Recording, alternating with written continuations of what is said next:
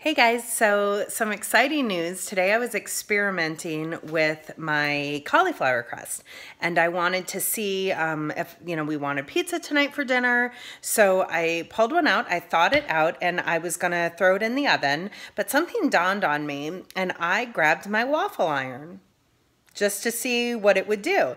Heated it up, he like made sure the waffle iron was nice and hot, and I threw most of the crust in there and um, put it in, and I just kept checking it. After 13 minutes, you guys, I'm so excited. Let me show you what this came out to be. Let me figure out. Hmm. Look how perfect that looks, you guys. See it? Oh, that's bad there. Um, but oh my gosh, and it's so thick, I can pick up the whole thing. So this is gonna make about a waffle and a half of pizza.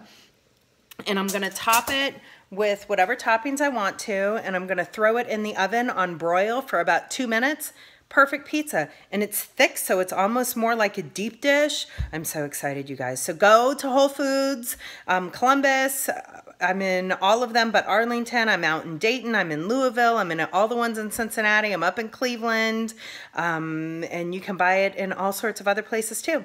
But share your toppings, share your pizza, make something up and put it on the Facebook page or Instagram or Twitter or all those other ones. So yeah, 13 minutes so it made it crispy enough, um, but have fun. Bye guys.